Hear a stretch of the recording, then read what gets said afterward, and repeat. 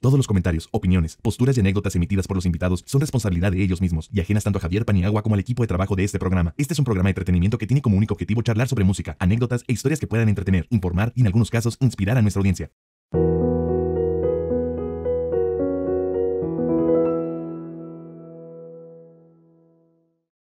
Familia, em, a finales del año pasado eh, platicábamos y ustedes me preguntaban qué propuesta era la que yo pensaba que estaba inundando eh, la industria de la música. Y para mí, se los dije desde el año pasado, que es Gran Sur. Y el día de hoy me siento muy contento porque los tengo aquí conmigo. Amigos, Sofi, Cha, Iñaki, Elohim, bienvenidos. Muchas gracias, ¿no? Qué bárbaro, eso que dijiste sí fue así de wow, gracias. Y gratis. gratis. no, lo dije justamente, siempre hago como un sondeo con mis seguidores de que manden preguntas y me preguntaban de, oye, con lo que está pasando, ¿qué opinas? Y yo les dije, la verdad es que Gran Sur trae algo muy interesante, ahorita vamos a, a platicar profundamente de eso, pero estuvieron en Querétaro, ¿cómo les fue? Estuvo mágico, la verdad.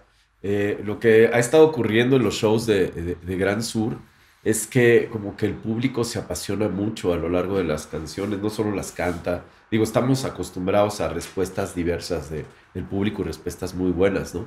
Pero algo, algo mágico está pasando. Entonces, los invitamos a que igual vayan a un concierto de Gran Sur y pues a ver si a ver si tienen alguna mejor opinión sobre qué es lo que está pasando, ¿no? Hay algunas canciones donde la gente llora, no sé, hay, cosas que a mí nunca me habían pasado y, y, estoy muy emocionado y la verdad muy, muy contento con mis compañeros y muy, muy agradecido con el público por, por conectar de esa manera con, con el proyecto. Oigan, y ahora em, han estado ustedes rodando como por distintas ciudades y explorando pues venues más compactos, ¿no? ¿Cómo ven eh, los venues que están pues ahorita en, la República? Pues muy bien, ¿no? La verdad hemos tenido chance de estar justamente en los que están alrededor de la Ciudad de México. Este, y está bien padre que hay lugares para tocar, algo que nos falta aquí en la Ciudad de México, siento yo.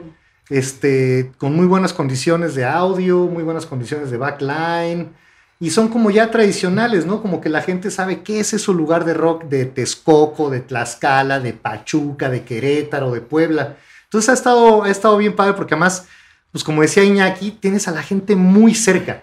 Y eso es bien padre, o sea, los puedes ver hasta el que está en la última fila, ves perfectamente cómo está. Sofía hasta les hace bromas así de pongan el celular en modo avión para que no le vayan a llamar, ¿sabes? este... concentran! ¿En qué quedamos? Entonces es bien padre de repente llegar este, pues con tu equipo, conectar tu ampli, hacerlo sonar, no estar preocupado de que condiciones a lo mejor de conciertos más grandes, sino que aquí es como esta cosa de tener a la gente muy cerca y, es increíble, es padrísimo. Oigan, ahora eh, Bravo, este nuevo EP que acaba de salir, eh, los quiero felicitar. Muchas gracias. Es increíble. Eh, digo, hay grandes colaboraciones, ahí está Denise, está por supuesto Saúl, Natalia, ¿no? este, el doctor Shenka. Este? Doctor Shenka, ¿cómo no? ¿Qué onda con este EP? Pues básicamente queríamos hacer un discote. Justo antes de pandemia empezamos a, trabajar en lo que finalmente se convirtieron en nuestros últimos dos materiales. El otro lado, que es nuestro segundo disco, y, Bravo, que es... Que por cierto, perdón que te interrumpa, aquí. Eh, creo que fue el, no fue el de dolor, lo acabo de comprar en Negro Pasión. Ah, el vinilo. El vinilo, gracias. El vinilo, pero no me alcanzó a llegar porque quería que me lo firmara. Ah. Pero aquí les voy a dejar la liga de Negro Pasión para quien quiera. Sí, por favor. Lo compré. y, y, no, y el sueño es también publicar en vinilo los otros dos, ¿no? Pero finalmente, en algún momento incluso pensamos que tal vez podíamos hacer un álbum doble, ¿no? Entonces traqueamos un montón de canciones que, que, que estaba componiendo Sofi, otras que estábamos trabajando juntos y de repente, pues varias de las que veníamos, eh, covers, que veníamos arrastrando, versiones muy padres que el destino nos, nos, trajo. No esto de hay que hacer un cover, no, para nada. Canciones que genuinamente llegaron a nosotros, como lo es antes de, eh, antes de que nos olviden de, que nos invitaron a, hacer esa presentación maravillosa en 2018 en, en este, el Ariel eh, que era el 60 aniversario de Ariel, 50 aniversario de, la matanza de Tlatelolco, ese momento tan, tan bonito y tan este, solemne con Saúl, con, con Meme, con Torreblanca, en Bellas Artes, ¿no? Sí, sí, trae una big banda ahí. Lo mismo, lo mismo con la de Te Extraño, que nos invitó el maestro Manzanero estando en vivo a su programa Música Maestro y, y pudimos hacer esa versión inspirada además en un dueto que hicieron ellos en la televisión, él y José José hace ya muchas décadas padrísimo. Entonces, es, eran canciones que veníamos, eh, de alguna manera, el destino nos las había puesto. Entonces decidimos traquearlas y pensamos que tal vez iba a ser un solo material grande, ¿no?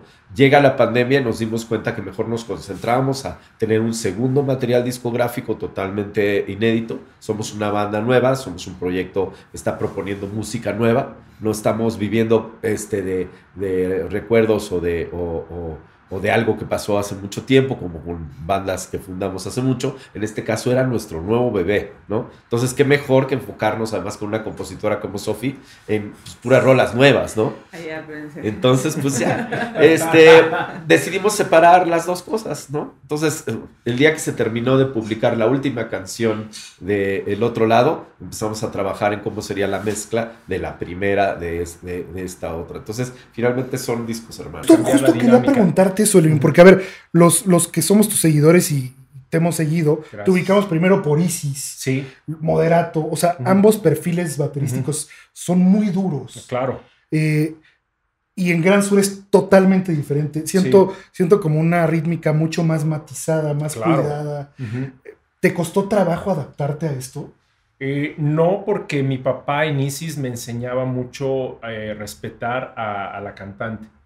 Me decía, este, sí, el intro, cuentas, entras seguro, pero cuando llegue la voz, bajas. En el precoro, medio subes. Y ya en el coro, según los elementos, estallas. Y en el solo de guitarra, pues era mi papá. Te bajas. te callas. te callas. No me hagas tantos redobles. No, es que si yo hacía muchos acá contras y no hagas tantos contras. Pero eh, eh, él ya me había enseñado eh, de esa manera. Y pues bueno, la música que escuchábamos, este, más o menos, no todo, iba de esa temática. Pero lo que sí me ayudó con Gran Sur es que pues, me enseñaron mucho rock americano, mucho rock europeo. Y pues siendo mexicano, no sabía de mis raíces. Entonces, qué bueno que entra Gran Sur porque esa era una parte bien padre para escuchar. José José, Juan Gabriel, este, los bateristas, este, o sea, tanta música mexicana, 70s, 80s, muy importante que pues mi papá por ser rockero, como me encanta Chá en una entrevista que dijo que lo que mi papá y yo nos perdimos por ser rockerillos. Me encanta. ¿Cuántas cosas se perdieron por andar de rockerillos? De rockerillos, ¿no? Entonces, qué padre que se da Gran Sur porque el escucharlos y vamos a vamos a ver esto y, y, este grupo y este cantante y este sol, eh, o sea, yo decía, qué buenas baterías. O sea, ¿por qué mi papá? Bueno, ya, no vamos al pasado. Sí, sí, la necesidad de que sea tanto estruendo. Exactamente, ¿no? Entonces, para mí fue muy importante porque luego Sophie llegaba con las canciones y yo tenía este, este feel de, rock duro. Y no, claro, con todo respeto, no hay que meterlo con Gran Sur.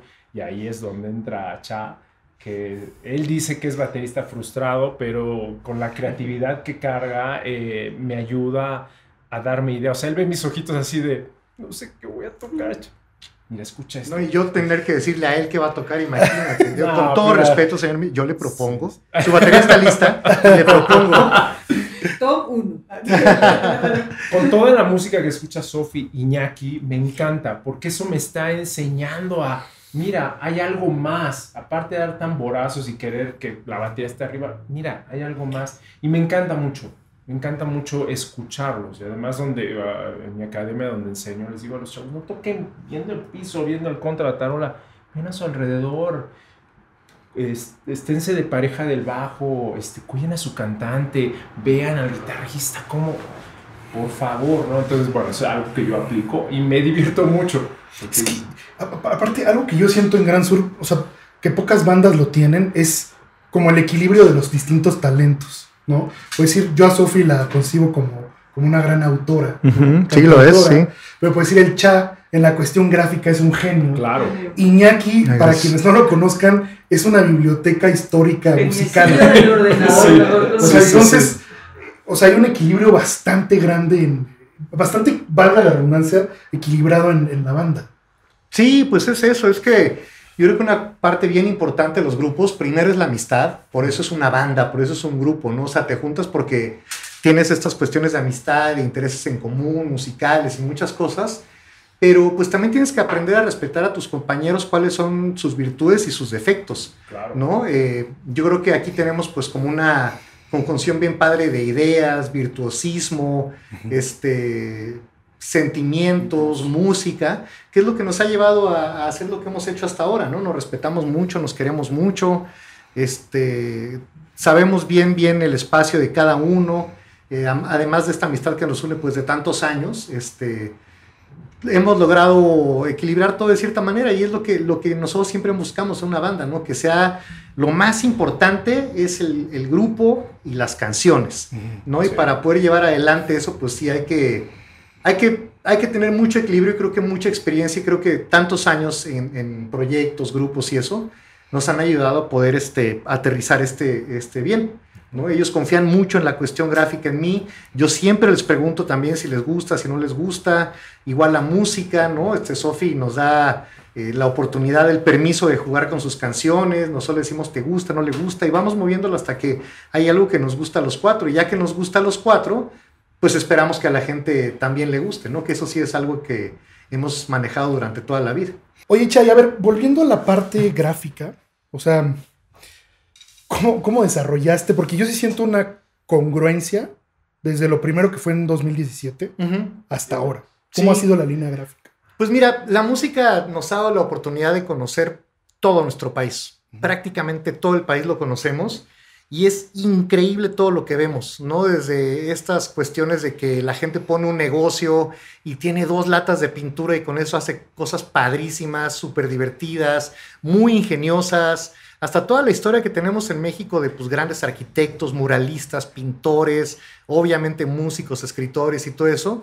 Y como decía Sofía hace es una idea que Iñaki y yo teníamos desde hace mucho tiempo, pero por una cosa u otra nunca lo habíamos este, aterrizado. Por estas ideas de, no, bueno, hacemos una rola, pero que la cante no sé quién. O sea, hasta que no llega Sofi, no es que se aterriza todo esto, ¿no? Y cuando llega Elohim, pues ya el rompecabezas está completo. Pero sí tenemos como muchas ganas y muchas ideas acumuladas y guardadas de por dónde llevarlo.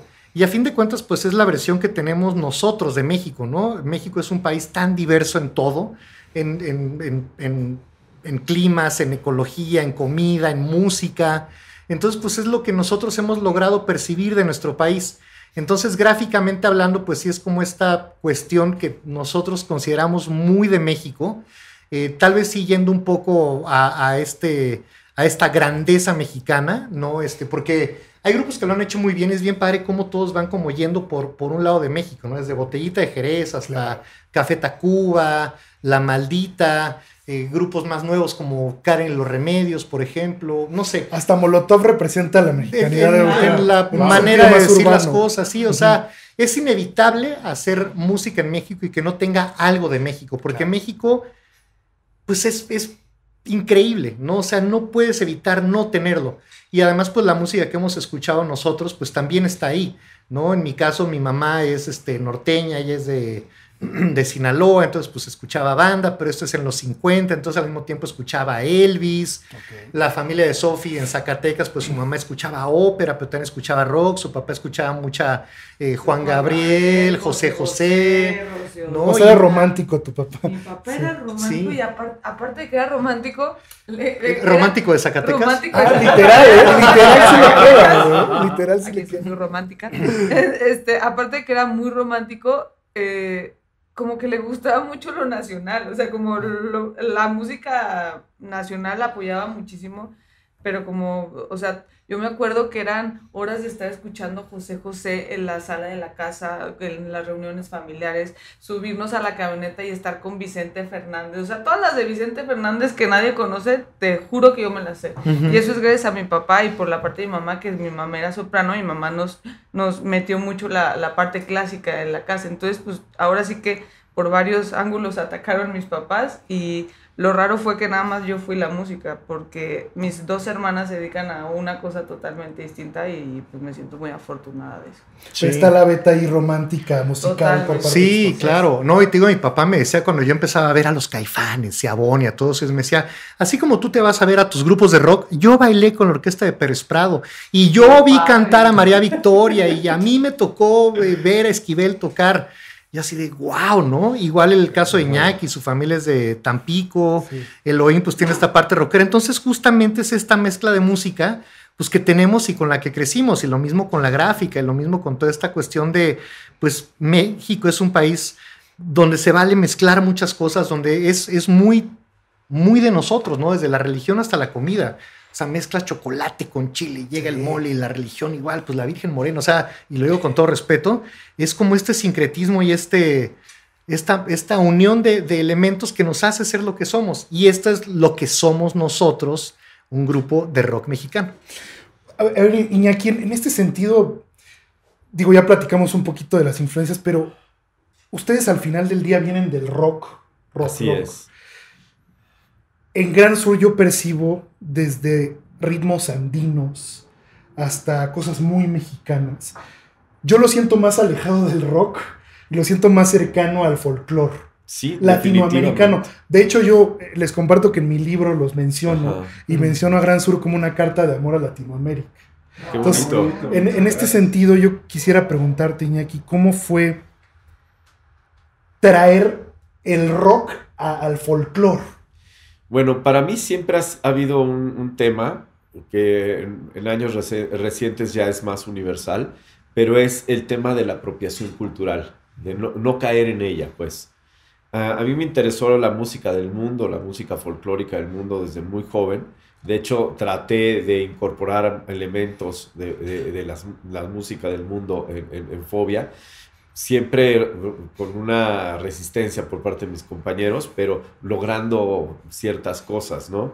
Yo estudié composición en la Nacional de Música, la Escuela Nacional de Música, que hoy es la Facultad de la Música de, de la UNAM. Estudié ahí dos años, entré a composición, pero fui gravitando hacia las materias en donde se estaba viendo etnomusicología. Entonces prácticamente yo ya estaba como haciendo el cambio a ser un etnomusicólogo cuando finalmente no dio la Yo vida. sí te considero un etnomusicólogo. Iñaki, Bueno, o sea, pues truco, una- truco.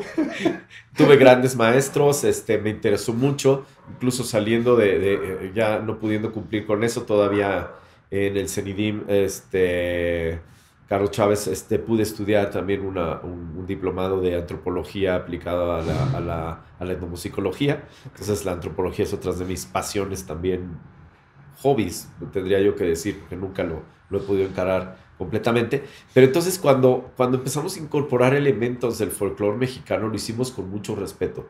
Nosotros sabemos que nuestra formación es rockera y cuando tú ves un concierto de Gran Sur es muy claro que finalmente somos una banda de rock. Sobre todo en los, más en los conciertos que en los, en los álbumes, porque finalmente tenemos una batería, Hasta en el stage plot. un bajo. Todo, una sí. guitarra eléctrica sonando más o menos todo el tiempo y cuando no hay una guitarra eléctrica es un piano, ¿no? Y, y, y Sophie también eh, tocando guitarra acústica, eh, claramente con, con, su vena rock pop, ¿no? Pero eh, el material, lo, los sonidos, lo que evoca eh, las canciones y los arreglos, desde la composición de Sophie, que, descubrió una nueva manera, una nueva beta en su composición, que tal vez no habría encontrado eh, en, su proyecto, eh, con todo este bagaje cultural y, creativo y, y de, de, cancionero mexicano que, que, absorbió de niña, que se sumó al de todos nosotros, que tal vez lo habíamos dejado igual medio en la adolescencia o en la infancia, porque nos enfocamos a la música que habíamos descubierto y escogido por, propio, por propia voluntad. ¿no? Que es el rock and que roll. Es el rock and roll sí, claro. ¿no? Pero yo siempre gravité hacia escuchar mucha música folclórica del mundo. De hecho, ahorita yo, yo creo que yo consumo más cantautores de folk okay. eh, en inglés o lo que sea que cualquier otra, otro género musical, ¿no? Particularmente me gustan mucho este, las voces femeninas y, y mis, mis, artistas favoritos son, son mujeres, son mujeres que componen. Entonces, el privilegio de tener a una y a una grande en, en una banda ¿Y de voz? nosotros que tiene una voz distinta, que tiene una composición, un temperamento, una, una conexión con ese ese otro lado, ¿no? Porque luego eh, Sofi desde que era muy joven y que la conocimos decía que ella no, no hacía Sigue las joven, sigue joven. que se las dictaba. Te vi, te vi, ¿eh? Te vi. Cuando era un No, no, no. poquito más joven que, que, que la música se la dictaban. Ella siempre insistía mucho que la música se la dictaban desde otro lado, ¿no? Entonces, este, para mí era fascinante ver cómo llegaban palabras que ella no usa en su, en su manera de hablar Día del día. día a día. De repente eh, usa unas cosas que es increíble, ¿no? Y pues viene también mucho de haber crecido escuchando también música de distintos géneros. Entonces, ya finalmente lo que logramos hacer fue lo que, lo que siempre quisimos hacer, un grupo de rock mexicano. Entonces, con esas dos palabras podemos explicar a Gran Sur. Rock mexicano, con todo lo que eso implica. Yo particularmente gravito hacia, hacia la, la música, pues, huasteca. Finalmente la, Claro. la huasteca tamaulipeca está en mi sangre, es, es toda la familia de mi mamá, también este, mucha familia veracruzana, entonces para mí el son está en mis venas y lo escuchaba de niño y, y algo pasó cuando yo tuve en mis manos la primera jarana huasteca hace ya más de 15 años que dije, eh, conecto con este instrumento, ¿no? Entonces me enseñé a tocarlo, le enseñé a Sofía a tocarlo y, y hemos, hemos tocado acordes que igual ni siquiera son tan comunes porque pues es- se escriben las canciones como se escriben y luego a, esta va con jarana y cómo la tocamos, ¿no? Los sones por lo general tienen tres o cuatro figuras y, y son fáciles de transportar, ¿no? No, nosotros de repente pues si está en, aunque sea ponerle un capo, pues estamos en fa menor, pues fa menor y a ver cómo se toca el fa menor en una jarana, ¿no? Y, y así es como hemos explorado todo eso y sonamos a esto y si queremos también celebrar el resto de Latinoamérica, lo hacemos también con respeto.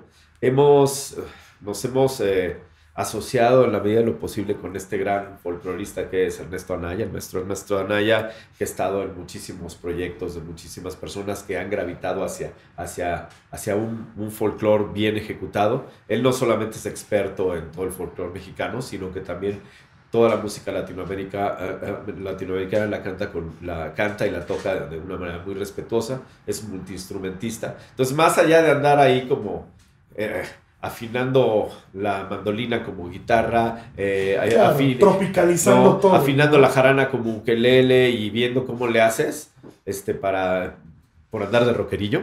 Mejor llamamos, llamamos un verdadero folclorista. Llamamos un verdadero folclorista que venga y toque el violín, la quena, este, eh, Hay, el hay- hay maderas, yo he, yo he escuchado muchas maderas. Eh, Y, y lo mismo traemos. No, para hacer la de Fina Condena hizo una flauta especial él, Ah, por ¿sí? el tono, sí, sí, como sí. La, la tocamos en un tono en el que no había quenas, mandó a, Una mandó quena. a hacer una quena eh, afinada exactamente en el tono de la canción para tocar en esa canción y ya. ¿no? Entonces, Oye, bien. Iñaki, ahora llevar eso a en vivo, ¿qué onda?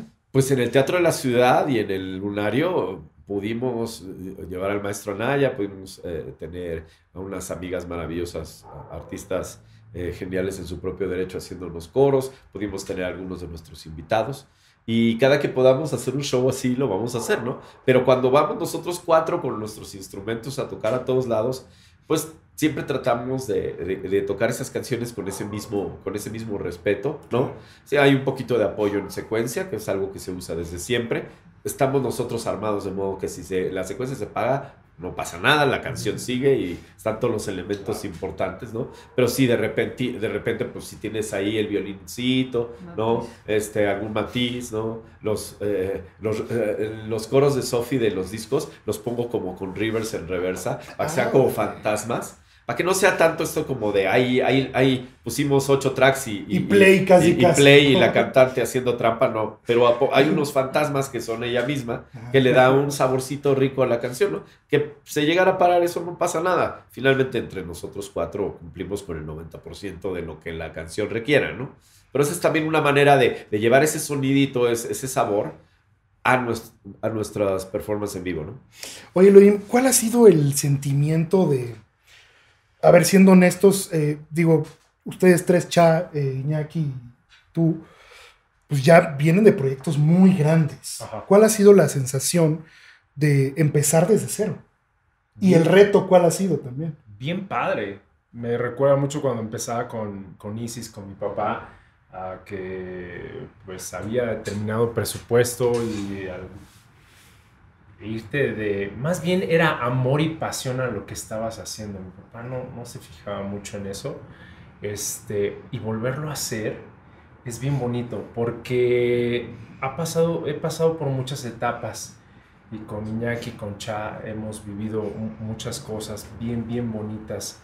Y ahorita que está Sofi, pues como que los cuatro sabemos que sí, que no debemos hacer por el bien de, Gran Sur y las canciones.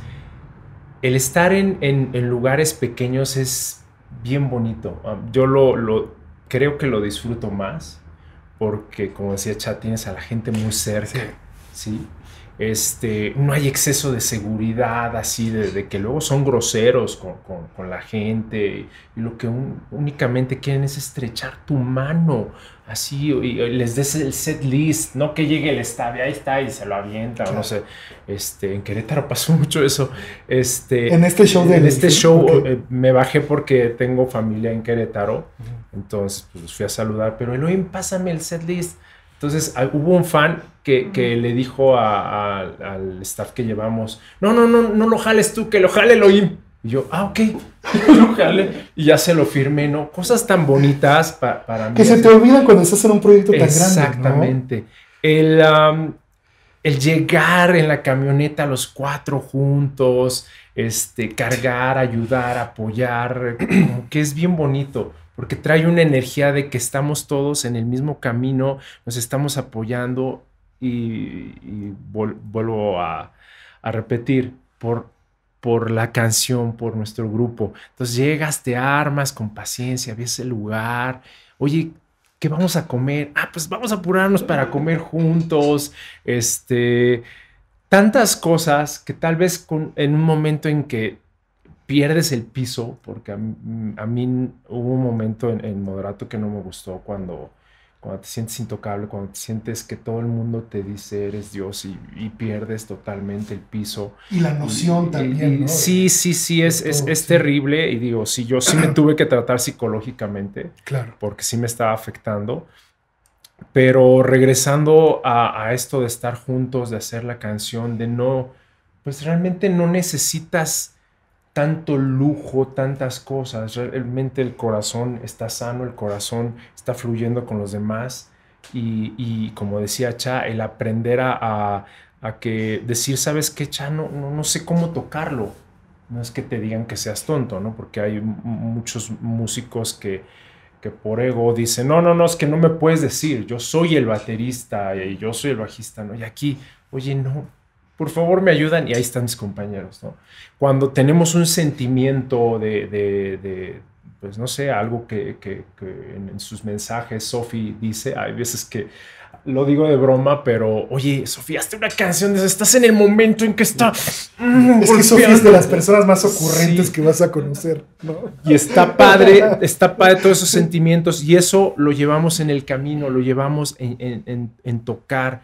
Además, pues el tiempo se va muy, muy rápido y, y, para mí me emociona mucho tocar, tenerlos aquí juntos. No así, sí lo disfruté, no digo que no, claro, sí, o sea, pero, pero echarlo, tenerlo 10 metros allá y a Y luego que no sirva su bajo. Entonces, ahora estar juntos y nada más, este, pues mueves el ojo, la cabeza, decir acá, puede pasar un problema técnico, lo arreglamos todos, este mis palabras se quedan cortas de ver con la emoción que se siente tocar todos en, en, eh, eh, un lugar pequeño y, escucharnos y, este, y volver a pasar esto, pues sí me recuerda, tengo la nostalgia de mi papá, ¿no? De cuando empezamos a tocar y, no hay gran, gran tecnología, yo sé, la tecnología va avanzando, pero en ese momento, jarana, guitarra, bajo, ¿qué hacemos? Pum, pum, pum ay, qué bonito. Sí, claro. Y luego entra la voz y luego crece la canción, acabas y unos aplausos y ves que están llorando. Ay, cabrón, qué, conexión, ¿no? Tan padre pasa. Entonces, me encanta que esto suceda. Sofía, ahora, ¿cómo has sentido tú, digo, siendo la cantante, la energía de la gente hacia las canciones? Es maravillosa. Eh, como que yo la verdad cuando estoy cantando, entro en un trance, pero es súper bonito terminar la canción, terminar mi trance y ver que la gente está igual. Es como, como si todos estuviéramos conectados y entre eso, estar viéndonos los cuatro en el escenario es muy bonito sentir voltear para atrás y ver una, una, sonrisa de oreja a oreja de Elohim Corona moviendo sus baquetas como si fuera a comer helado a la vez. O sea, o sea es, como. Ya te andan Sí, no, no, no, no, no, de verdad. o sea, en lo que él está comiendo helado, tocando la batería, mandando un Twitter. O sea, es como, güey, ¿cómo, ¿cómo hace todo eso? Eh, pero es bien bonito cómo todos nos conectamos arriba en el escenario y se hace una atmósfera donde no nada más somos nosotros cuatro, sino ya es un conjunto grande de gente sintiendo lo mismo. En los últimos shows ha estado bien, bien padre que ves a chavitos que están llorando y dices, o sea, qué padre que les llegue tan, o sea, tan, tan en serio lo que, lo que estamos tratando de decir con la música, qué padre que conecten así, pero también como lloran se ponen eufóricos con la de Palaltar, con la Number One, o sea, es, es un público que sabe pasarla bien y por ende nosotros lo disfrutamos como no tienes una idea pasa algo mágico en cada show. Cada show es distinto, pero cada show es bien especial. Ahora, Sofía, la cuestión de algo que me encanta también a ustedes es la estética en el escenario. Eh, justo platicaba con Chá ahorita de que tienen incluso, es como el banderín, los este, changos. En, los atriles de los micrófonos, o sea, ponen un montón de cosas. ¿Cómo, o sea, ¿de dónde viene toda esa, esa estética y cómo la fueron pensando? Y de ahí viene, de ahí viene todo, todas las camisas, los vestidos, mm, los trajes, la estética de los, de los discos, la estética del escenario. Eh, todo ha sido estrictamente cuidado y de una manera tan perfecta por Cha que eso termina de hacer la banda. Yo creo que una banda no solamente tienes que cuidar lo musical, sino también lo visual para que haga como todo un conjunto de cosas y termine siendo lo que te distinga de los demás. Y yo creo, que Gran Sur se caracteriza por eso, porque cuida desde que sale una canción hasta cómo se ve. O sea, como el corazón de Gran Sur es súper Gran Sur. Sabes que esa, ese corazón es de Gran Sur. Las, los cometitas sabes que son de Gran Sur. Los ojitos, o sea, ya se ha dedicado, la verdad es algo que, que le agradecemos mucho. Se ha dedicado mucho tiempo a cuidar todo ese tipo de detalles que, que hacen todavía aún más padre la experiencia. Sí. Ya es un genio de lo gráfico. Pues es que la música me inspira mucho y además tengo compañeros que confían en mí, o sea, eso también se agradece mucho. Se me pueden ocurrir mil cosas, pero si a ellos no les gustara, pues no, no pasa, ¿no? Y también es una cuestión de lo que nos gusta a nosotros ver. No, a mí siempre me han gustado estos grupos que, que cuidan todo eso. Y también el hecho de ir a un concierto eh, ahorita, por ejemplo, esta semana que estamos haciendo esta entrevista estuvo Tom Jones, Madonna, Interpol, Bruce Dickinson, Caifanes, o sea, todo en una misma noche. Entonces, pues no puedes ir a todos. Entonces, el hecho de que digan, no, yo voy a ir a ver a Gran Sur, y el hecho de que digan, voy a gastar mi dinero y voy a, mi tiempo, voy a estar con ellos, para nosotros vale muchísimo. Muchísimo, muchísimo. Entonces, pues sí queremos que cuando vayan a vernos, aunque sean lugares pequeños, digan, ah, ya entramos como este mundito Gran Sur, ¿no? Eh, y pues a mí me gustaría de un grupo que voy a ver que me dé todas esas cosas. Entonces por eso siempre trato pues como de cuidar todo, porque además eh, alguna vez lo leí en una exposición de no me acuerdo quién que decía, es que el show empieza desde la invitación. Claro. Entonces aquí empieza desde el post de Instagram, por decirte algo, desde el video de TikTok. O sea, para mí sí es importante que todo sea como coherente y más que todos tenemos como carreras eh, solistas por nuestro lado. Entonces todo esto es lo que nos unifica como Gran Sur. En algún momento nos decían, ah, es que para qué se uniforman, ah, es que para qué, pues es que uno, me encanta, a ellos también les gusta y estamos en la misma onda. Y tres, pues así como que estamos unificados como este proyecto. Sofi está ahorita grabando canciones nuevas porque vienen con música nueva como solista, igual Elohim, Iñaki también tiene sus cosas, además en conjunto tenemos otras. Entonces creo que como diseñador gráfico, pues siempre sí es bien importante la marca gráfica, ¿no? Y lo que platicábamos hace rato, pues también con una, un país como México que te da tanto, pues hay mucho de dónde, de dónde rascarle. Y tengo también la gran ventaja de que con los años he conocido a gente talentosísima en el diseño, en el video, en la pintura, en la ilustración, en la tipografía. Entonces, pues trabajamos juntos, tenemos como esta especie de cofradía donde de repente si ellos necesitan algo de mí, yo los trato de ayudar en la medida de lo posible, ellos a mí, todo. Y cuando podemos trabajar cobrando, pues nos juntamos cobrando y de ahí sale, ¿no? Pero por lo pronto tenemos este, como esta cuestión de, de hacer cosas por el puro gusto de hacerlas. Que por eso empezamos a tocar todos, porque todos teníamos este sueño de tener una banda, de hacer esto. Y creo que somos muy afortunados de que hemos podido vivir muchas vidas y de manera bien padre, ¿no? O sea, y eso, pues eso no tiene precio y que tenemos toda la capacidad de poder tocar, de, poder viajar, eso lo agradecemos muchísimo, muchísimo, muchísimo. Y el hecho de que la gente nos vaya a ver, para nosotros no tiene precio y siempre tratamos de darles eh, pues lo mejor, que podemos. Claro. Oigan, ahora, eh, de poco tiempo para acá ha cambiado toda la manera de comunicarse con los fans, ¿no? Ah, hablando precisamente de ahorita que decía Cha eh, de, de, todo el tema del contenido digital, ¿no? ¿Qué tanto ha sido el reto de adaptarse a, las redes sociales para comunicarse con los fans y para generar nuevas audiencias? Pues creo, creo que al principio, bueno, sobre todo hace unos 3, 4 años, sí eh, eh, se generó una especie de histeria colectiva entre, entre los músicos y creativos, en donde había mucha presión por parte de los managers, en, algunos casos las disqueras. Las mismas redes. Las mismas redes. Este, es de... Plataformas. Si no tienes likes y no tienes interacciones de acuerdo como es la cosa ahora, estás, estás frito.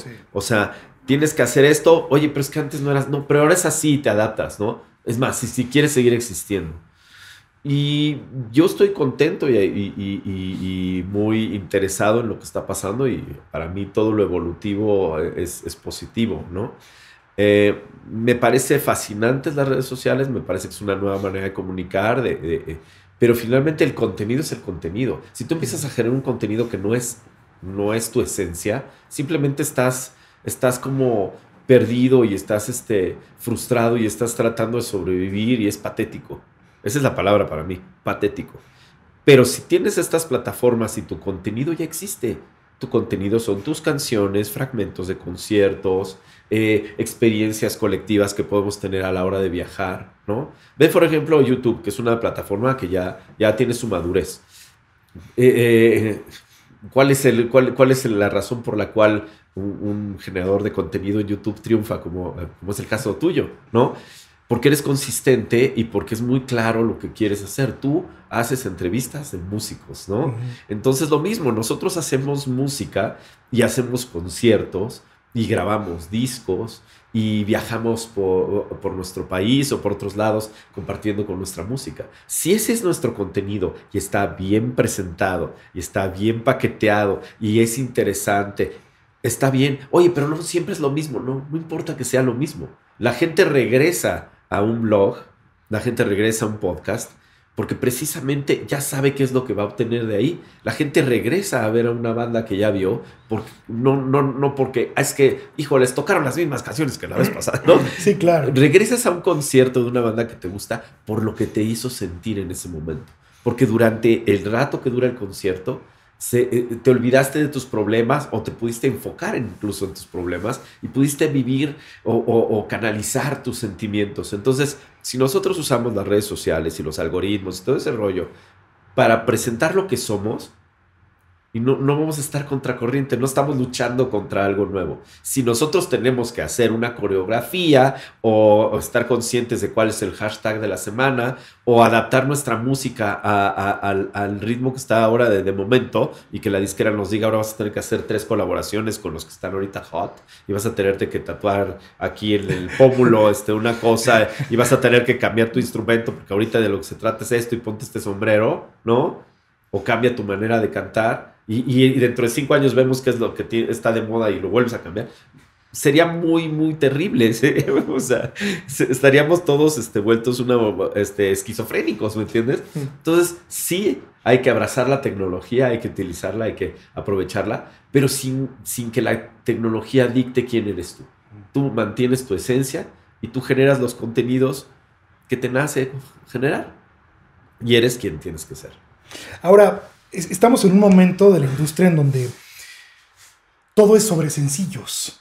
Y, particularmente para mí Gran Sur es una banda artesanal. Mm. Y una banda que yo no la entendería en singles, sino, sino en conceptos de álbumes. ¿Cómo ha sido ustedes de una u otra forma estar contracorriente en ese sentido? Porque van en contra de la corriente. Pues sí, no, o sea, es que la, mira, claramente somos mayores que la señorita y nos tocó vivir otra época, ¿no? Y sí nos, eh, nos tocó cuando eran colecciones de sencillos y nos tocó eh, cuando empezaban los álbumes conceptuales y todo eso. Yo creo que Gran Sur eh, sí puede funcionar a base de sencillos porque cada sencillo le dedicamos mucho tiempo y siempre tratamos de que sea esta esta onda Gran Sur, este sonido Gran Sur. No nos queremos quedar igual, sí queremos que el sonido evolucione, vaya cambiando, así como van cambiando las canciones, que evolucione la gráfica y cambie todo esto, pero eh, sí, sí creemos que puede funcionar como sencillo y sí está pensado en un álbum. Este, por ejemplo, Bravo. son las dos conceptos, claro. Porque sí nos, nos tocó eso a nosotros, ¿no? Y, y le tenemos mucho cariño, ¿no? Es, no es hacer, como dice Iñaki, hacer el sencillo porque ahorita tienes que hacer este sencillo así, así, como sea. No, no, no, lo hacemos como Gran Sur. Eh, estamos seguros y convencidos que tenemos grandes canciones porque tenemos una gran compositora. Eh, entonces, pues sí, vamos, vamos sacando estos sencillos. Eh, nos tocó la época de los sencillos que de un disco salía uno, dos, tres sencillos y el disco completo pues ya no existía. Yo creo que ahora ha cambiado mucho eso porque puedes sacar 5, 6, 7 sencillos de un álbum y ya cuando te quedan tres, pues ya sacas el disco completo. Entonces, este, como que todos los sencillos tienen una vida que anteriormente no tendrían. Entonces, para nosotros eso es padre porque hay canciones de, de discos que hemos grabado que decimos, ay, no salió esta como sencillo, ay, no salió esta como sencillo porque, porque la disquera, que porque esto, que el otro, es lo padre, el camino independiente también que podemos hacer como todo este tipo de cosas y poder sacar los sencillos que queramos porque sentimos que todas nuestras canciones son buenas y siempre hemos trabajado de esa manera, nunca hemos hecho tres sencillos y lo demás es relleno, no, todas las canciones que hemos hecho en todas nuestras carreras sentimos que todas son buenas, entonces creo que esta nueva época nos permite como ir sacando todos estos sencillos que tengan su momento, algunos serán más virales, ¿no? Que es la palabra ahora, más populares que otros, pero a fin de cuentas, pues tienen como, como esta, este reconocimiento que se merecen estas canciones. Oigan, ¿cómo fue la experiencia de tocar en París? Fue maravillosa, fue maravillosa. Yo no me la creía. O sea, cuando estábamos ahí tocando, o sea... ¿Qué dijiste Sahara Blue? No, de hecho, no, escucha, escucha. Iñaki trató de enseñarme a cantar una canción en francés. O sea, yo era, es que necesito hablarles en su idioma. O sea, quiero que sientan que, o sea, que los entiendo poquito. Entonces ahí me tenías ahí aprendiendo una canción en francés, la de Oh, Jean Salisse. Ajá. Entonces. ¿Y si pues, pudiste cantar algo sí, Sí, lo hicimos, lo hicimos. Iñaki, Iñaki, me enseña jarana, me enseña francés, llámele ya. Es que Iñaki es como el Google. Llámele ya. Pero fue, imagínate, la banda tenía súper poquito de haberse. Sí, un eh, año, dos. De haberse creado y nos invitan a irnos a lo que era el 15 de septiembre para los parisinos. No, no, no, el Día de Muertos. Ah, el Día de Muertos. Sí. Fíjate, aún mejor. La fiesta de los muertos se La fiesta de los muertos de los, o sea, mexicanos en París. O sea, para los paisanos Exactamente. en París. Entonces, se, hicieron como una especie de kermés ya de, noche. No, una. Taquitos. sí, no, no. Fue un ambiente súper lindo. Y luego salías y las calles de París era. La, nos fuimos a la Torre Eiffel a tomar un chorro de fotos. Ahí métanse a nuestros perfiles de, de arroba Gran Surmex. Y fue, yo creo que fue de los viajes más bonitos que hemos tenido, de las aventuras más épicas que hemos hecho, porque fue la primera vez que nos tocó compartir cuartos que pues yo creo que cada uno venía como muy acostumbrado a estar como en un cuartito solo, no sé, acá fue como, pues órale, te toca con Sofi con los ronquidos de no, todos no, no, entonces esa vez me tocó con Iñaki. Hola de pues, neandertales. no, no, no, Iñaki, Iñaki, ah, los que lo conocemos sabemos que Iñaki platica mucho, es muy buen conversador. Totalmente. Entonces era, nos Se ve que lo ves poco, ¿verdad? No, no, no, no, no, no, Iñaki es las mejores... Sí, sí grandes pláticas. Me acuerdo, con Iñaki, me son- acuerdo que ese, eh, la primera noche en París nos dormimos tardísimo, plática y plática y Sí. plática. O sea, yo me sentí en una pijamada con mi mejor amiga. O sea, fue como. Con la pizza, Sí, ¿no? sí, sí, no, no, No, no, no, la baguette. La La baguette. baguette. Le, baguette. Le luego- baguette. ¿y luego al día siguiente me dijo Iñaki, le- nos levantamos a correr, órale nos levantamos a correr, nos fuimos a un parquecito hermoso, terminamos por ir por un, por un rol de pera sí. Delicioso con un café y nos regresamos al hotel todos contentos. Yo creo que esas son de las cosas que se te quedan súper grabadas y es de las cosas que se quedan como ate- atesoradas de nosotros cuatro. Qué es bien bonito. bonito. Pero además hay algo, algo muy bonito que creo que ese concierto fue la primera vez que tuvimos la experiencia de, de tocar ante un público no mexicano. Y no sería la última. Luego eh, repetimos en, en el NAM En el NAMM Show, 2020, claro. este, que tocamos ahí directamente, que es igual que la Expo Soundcheck. Sí. Que la gente está distraída y hay ruidos y unos están haciendo jazz y otros, y, y gente increíble, y el gran guitarrista y el gran bajista. Pero en el NAM, por ejemplo, que tocamos, empezamos a tocar y como que se hizo una especie como de silencio y toda la atención se volteó hacia nosotros porque genuinamente esa música que estaban escuchando no era lo que normalmente oyes en una expo como esa, Sí, ¿no? que siempre es tuts, pats, tuts, pats, ¿no? No. O sea, Y, Sí, y- sí, sí. y- y lo mismo nos pasó eh, en Marfa cuando tocamos en el festival de, en el Transpecos. Como que luego echamos un palomazo recientemente, Sofi y yo, en un festival folk. Y ahora tocamos en Sayulita como ¿Qué es que es el que headliners. me, platicaste? Que habían personas de country en Sí, sí. en backstage y todo. No, y el público era básicamente. Básicamente americanos. Unidos, Lo sí. que sí nos damos cuenta es que para un público internacional, Gran Sur super fluye y la gente conecta con las canciones, aunque no, aunque exista la barrera de- del lenguaje. Porque creo que la parte emocional que nos está ocurriendo en los shows, creo que eso es bastante universal y es bien bonito. Entonces, este año y el que sigue vamos a tratar de salir más. Este, obviamente hay que sacar visas y todo, porque así es, así es la cosa. Pero vamos a tratar de salir más porque definitivamente creo que ahí hay una gran oportunidad, ¿no? Lo, lo vivimos por primera vez en París y, y por última vez en Sayulita, donde el 90% de los que fueron al festival eran ex- expatriados, sobre todo americanos y canadienses, pero había de todo, el centro Sudamérica. Funciona re, re bien, la verdad, está bien padre, como la gente de otros países nos recibe con mucho cariño. Oye, Loin, ¿cómo fue la experiencia de abrirle a Garbage? Ay, no, hombre, no. Fue en el Pepsi, no. ¿verdad? Sí. Fue en el Pepsi.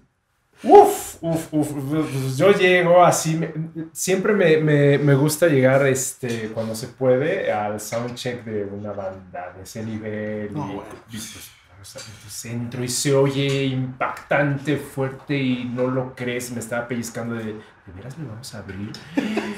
Pero, ah, además, eh, Chame pasa este, eh, algunos ah, Instagram donde ellos nos ponen Gran Sur invitados, o sea, Y los, los etiquetan y los mencionan. O sea, son cosas que dices, no, de veras, entonces llegas, los escuchas, estoy emocionado, aprendiendo todo así con las orejotas, así, la vista, este, ya cuando ellos terminan y ya, este, Sofi, Iñaki, Cha, los vemos en el camino, nuestro camino está pegado al de ellos, con una, una, eh, no hay esta soberbia de vaya, yo soy Garbage, y bla, bla, bla, bla, bla, bla", ¿no? Nunca cerraron la puerta. Nunca cerraron la puerta y nosotros, Pasaban al baño 20 veces ustedes, ¿no? No, nos invitaron, nos invitaron a entrar. sí. Este, en la prueba de sonido estaban eh, tomándonos fotos. Eh, eh, entramos al camerino antes y después de la prueba de sonido a, a platicar. Nos dijeron que ya habían escuchado el disco. Ella le dedicó un minuto entero a hablar bonito de nosotros durante su show. Y terminando el show, pues nos, nos invitaron a que estuviéramos ahí jangueando. Y bueno, armaron tan, tal relajo en el camerino que ya sí, las de limpieza, señora Shirley a las 3 de la mañana, señora Shirley, ya tenemos que cerrar, ya, no vayas a. No fue de broma, terminamos comiendo pistaches con Shirley, o sea. A las 2 de la mañana, o sea. Sí, tarde. Además, ellos iban al día siguiente a Brasil. O sea, no es de que tenían día libre. O sea, volaban a Brasil un vuelo largo y se ve que Duke, Steve, Shirley, o sea, Butch traían todos muy buena fiesta y este y se la siguieron. ¿eh? Estaba hasta Morrissey. Sí, lo vimos. Estaba hasta de- Morrissey. Canceló al día siguiente, ¿no? Sí, Fue la sí. Pues es que ya estaba acá Y sí estuvo en México, o sea, sí canceló porque se sintió mal, o sea, no es de, ay, ese Morrissey, o sea, sí estaba acá. que sí vieron a Morris. Claro, sí, sí, sí, sí, sí. Venía, de hecho, con todo su equipo de músicos. O sea, toda su banda estaba con él. Sí. O sea, sí, Sí. sí. vino, sí estuvo. No, pero, pero sí, increíbles ellos, Increíble. increíbles, Pa- fíjate, increíbles. parte sí. del cuando ya ves cuando le abres a una banda de ese nivel, pues toda la gente va a ver a su artista favorito. Entonces, el abridor pues siempre puede tener eh, escucharse grito, este mala iluminación y que la gente no lo pele. Pues O que no, lo abucheen o sea. Sí, sí. Nuestra ingeniera, eh, Caro. Este, Caro, este, le dijeron que podía sonorizar muy bien. La iluminación increíble. La gente no se escuchó, no hubo nada de. de o ya, garbage, garbage, o sea, nada. No, se nos pidieron escuchaba. otra. Nos Ah, pidieron ¿neta? Sí. otra, o sea, Que para un grupo también- abridor a ese nivel, con una banda de ese nivel, algo que ahí te cae. No, nos están pidiendo otra, ¿qué hacemos? Porque habíamos calculado por respeto, porque hay horarios, ¿no? Claro, Entonces, claro. por respeto, pues no te pasas, ¿no? Claro. Entonces, ¿qué hacemos? Pues calculamos el show para que, por respeto, ¿no? Sí, pues ¿no? va, ¿no? sí, O sea, acabar cinco esto- minutos antes, por cualquier cosa, Pero sí. qué bonito, o sea, en todo estuvo bien. Desde antes, en, en- durante el show y terminando, y qué, qué gran banda. Que, y además Ah, eso nos enseña muchas cosas, ¿no? Que, que, pues, a esos niveles. Si alguien, si alguien te abre, lo tienes que Sí. tratar igual de bien como nos trató Garbage a nosotros, la verdad.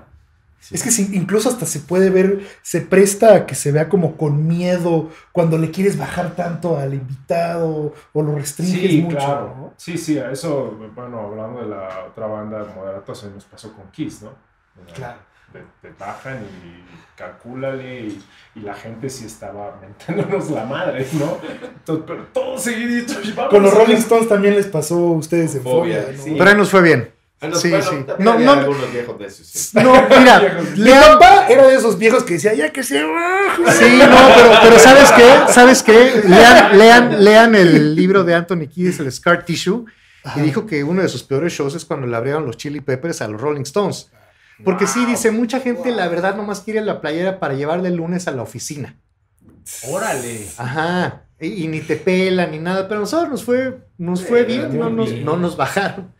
No, pero bueno, la sí. exper- jalaron mucha experiencia. No, y, claro. y- y también el staff de los Rolling. Eso lo contaremos otro día, pero Sí. también muy chidos, muy Claro. buena onda. Bien padre. Y ellos mismos tuvimos chance de rapidísimo conocer a los Rolling Stones y también increíbles. Sí. Oigan, Pero sí, la experiencia con Garbage fue otro nivel. Jamás, Sí. jamás, jamás lo pensamos. Qué belleza, amigos. Oye, Sofía, ahora, eh, evidentemente, pues, Cha, Elohim y e Iñaki se conocen de otros proyectos, pero ¿de qué manera te integras tú con ellos y, y crean Gran Sur?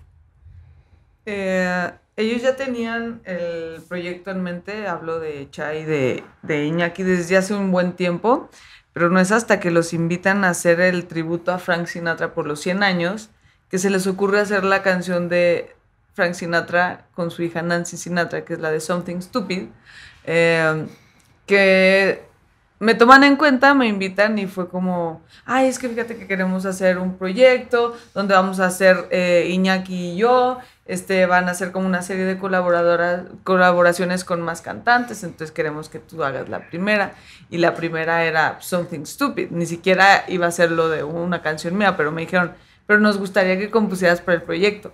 Entonces, cuando hicimos esa canción de Something Stupid y vimos la química que teníamos, porque a pesar de que ya nos conocíamos anteriormente, ya, ya, ya éramos muy buenos amigos, pues era como, ¿cómo será tener una banda con ellos? Y me gustó mucho. Yo vengo de un mundo de ser solista donde, pues no, ahora sí que la parte del compañerismo lo aprendí en Gran Sur. Claro. Entonces, cuando veo la química que hay entre nos- nosotros tres, porque todavía no estaba Elohim, fue como, ay, es que yo quiero ser la, la tercera, como, o sea, no quiero hacer colaboraciones. Entonces me dicen, no, pues sí, enséñanos como propuestas de canciones. Y fue como, "N- o sea, sí les enseño propuestas de canciones, pero ya no les voy a, o sea, si, si quieren mis canciones, las canto yo. O sea, yo no voy a dejar que mi vestido se lo ponga alguien más. Yo no soy plato de segunda No, mesa. no, óyeme, a mí me, a mí me cuida. No, y además nosotros mensos ni sabíamos qué queríamos, la verdad, era como la idea. Pero qué bueno que llegó Sofi y dijo, no, chavos, a No, poner chavo. orden. No, y A aterrizarlo, mí se ¿no, me chavos? cuadra. Exacto. No, entonces, este, busquen ese video, por favor, está padrísimo. Me maquilló. El de un- Something Stupid. Sí, el de Something Stupid. No teníamos presupuesto y me maquilló el primo hermano de Iñaki, de Alguien que Moderato. solamente sabía maquillar Sí, una porque aparte me dice me dice, me dice súper seguro, ay, pero no te preocupes, yo sé maquillar súper bien, vente a la casa y yo te maquillo. Pues ahí voy yo. Todo dije, pues obvio, sí sé maquillar, no, hombre. Ya cuando me vi al espejo ya era demasiado tarde porque me vi en el espejo de la casa donde estábamos grabando. Fue como, pues ya vas. Entonces, sí, háganse ese favor y busquen ese video, Something Stupid de Gran Sur. Está Tenía- hermoso. te- tenía nada más dos, dos, dos maneras de maquillar yo en ese entonces. Eh, Zombie rockero o, o- o- o personaje de Cats. Y te fue bien. Oye, o No, Spider-Man, no, ¿no? no, yo era como, era como zombie, pero Drácula, pero, pero payaso de rodeo. Mujer pero- vampiro. Mujer vampiro. El santo. El san- no, no, no. Te hubiéramos llevado mejor a Chapultepec. Ay, no, Una justo, mariposita o algo. No, y luego, y luego, entonces acabamos eso y les enseño. ¿Fue al día siguiente? Casi, la de casi. estudios. Dos o... Sí, nada. Ah, nada entonces ahí fue donde yo apliqué el, di- el deal, porque todavía no les decía, no, bueno, si quieren mis canciones. Entonces me dijo, no, está increíble, sí, claro que sí, queremos hacerla. Y fue, no se las voy a dar. Así, No se, no se las voy a dar sin antes dejar en claro que no va a haber colaboraciones. Yo voy a ser la cantante de tu banda, Iñaquicha. Entonces, ya digo, bueno, pues está bien, sí, sí, ya. Quedó. Entonces nos invitan como a la semana siguiente a hacer un programa piloto para Canal 5, donde teníamos que presentar dos canciones. Pero era la primera vez que, que nos íbamos a presentar y solo teníamos dos canciones. No teníamos ni nombre. No, no te... Oye, de veras, Sí. no teníamos ni nombre. ¿Cómo salieron, cha, ahí? Pues ya con la presión de, pues cómo los presentamos, fue así, ay, pensando, pensando, Tú pensando. habías puesto un nombre. A mí me gustaba otro nombre, pero checamos que ya existía otra banda que se llamaba igual, ¿Lo puedes decir? Boca Negra. Y sí Ok. salimos así. ese No, no, no, no, no. Me, suena un poco como, como pirata, ¿no? El Boca Sí, Negra. sí. Sí, pues Boca Negra por, por el compositor del himno nacional Claro. mexicano, pero además tiene como visualmente mucha cosa, pero ya había. Entonces fue así, Órale. ¿cómo, cómo? Es que ya tiene que decidir, ya, ya, ya, Ya. ya, ya, ya. Y se nos prende el foco así, Gran Sur, ay, pero ya hay un centro comercial, no importa, porque también había un café y Yo no también sabía que había un... había una película, o sea, Sí. si pones a ver los nombres de los grupos, pues ya hay una película que se llama igual que este grupo. ya puedes decir, nosotros ya invertimos en un centro comercial. ya hicimos- pero, pero, pero viene muy, muy al caso ahorita Iñaki nos lo, lo- lo cuenta muy bien de por qué Gran Sur. ¿No? Entonces fue así, bueno, pues Gran Sur, ¿les gusta? Sí, nos gusta, órale, va. Ajá. O sea, fue Ya rapidísimo. sabes que la presión, el ocio es la madre de todos los vicios, la presión es la madre de todas las grandes ideas. Entonces, no, no, no, eh, buenísimo. Entonces, ya, eh, vamos, nos, nos invitan a presentarnos este programa. Fue como, bueno, pues vamos a juntarnos a ensayar en casa de Iñaki. Bueno, sí, pues ya, montamos la canción, la de Something Stupid, que ya la teníamos, y luego, pues vamos a montar Tu Dios. Pero, pues, nada más, te- o sea, éramos el bajo, la guitarra y la voz, pero nos hacía falta la percusión. Y la jarana. y la jarana, ah, la jarana, claro. Entonces fue como, eh, fue la idea, surgió la idea de la máquina de escribir y la maleta, porque Iñaki tenía en un estantero la máquina de escribir de su abuela. Entonces fue como, oye, si usamos la máquina de escribir como percusión, entonces... tum, tum, tum, tum, y ya los chasquidos, entonces se, se agregó ese sonido de percusión a la, a la canción, presentamos, nos subieron a una combi, la tocamos ahí los tres, ojalá encuentres ese video, estaría increíble. se lo, que- se lo voy a pedir. ¿Sí existe Sí. Iñaki? Sí, Sí. bueno, no, no salió ese programa, pero sí, sí. Eh, nuestro buen amigo Alejandro Franco por ahí debe tener Ah, el piloto. bueno, sí. Sí, Sí. padrísimo. Entonces fue cuando, cuando le enseñamos a, a Elohim la, cómo había quedado tu Dios para que nos ayudara a grabar, pero obviamente Elohim no, no tenía todavía a Belén en el entierro con Gran Sur. Entonces fue como, ay, estaría increíble que invitáramos a Elohim, pero ¿crees que quiera? Es que ¿cómo le vamos a explicar que nada más va a tocar una máquina de Porque Sofi maleta? Sofi fue la que dijo, y vamos a hacer una banda, y le vamos a decir Elohim. O sea, Sofi llegó a poner orden. A poner orden. Muy bien, A este muy par de viejos No. procrastinadores. No, pero el punto es nos moríamos de miedo por explicarle al monstruo de la batería, Elohim Corona, que iba a llegar con una máquina de escribir y una maleta viejita, porque aparte esa maleta la encontré en la lagunilla y le pedí a un amigo que me prestara un pedal de batería. Entonces, eso ya lo tenía en la casa y le dije a Cha, pues mira, yo tengo esto. Entonces, ya con la máquina de escribir fue, era perfecto, o sea, nada más la máquina de escribir y, la- y fue cuando fue la, la idea, pero ya le explicamos a, le mandamos a Cha por delante y Cha tuvo... Ya el negociador. Cha el Sí, negociador. muy bueno, muy desde bueno. tiempos ancestrales, entonces ya le tocó convencer a Elohim y... No, pues estaría increíble que luego lo se eche un solo como tipo Rush con la máquina de escribir y la maleta. Y además, además va, va a escribir la gran novela baterística. Oye, y, y- y que huele, que huele su maleta. en su banquito, su maleta y su máquina de escribir ahí. Los escenarios de Sería bueno. Qué Pero en un, idea. en un columpio como quinceañera de. Ah, Con tiempo de vals. no, ¿no? no. Ah, qué maravilla. Y salimos, sale Iñaki y Cha del lado de los escenarios como sus, sus Con espadas. así. Con espadas. espada. No, pero sabes que sí está padre que lo hemos recreado. En el Teatro de la Ciudad estaba la, mate- la maleta en el escenario y llega Elohim caminando y Sí. este, se pone solito con la maleta y los dedos y la máquina de escribir y de repente empezamos a tocar nosotros. Y es, es bien Sí, padre. es Sí, es bien padre. Sí. Bien padre, bien. Oigan, eh, hicieron un lunario, eh, si no, si no me equivoco, a principios del año pasado. Al ¿no? principio sí. Ahora hay, hay planes ya de, de, pues, de otro show en la Ciudad de México. Pues tenemos muchas ganas de que cuando hagamos un show en la Ciudad de México sea distinto, sea distinto a lo que hemos hecho.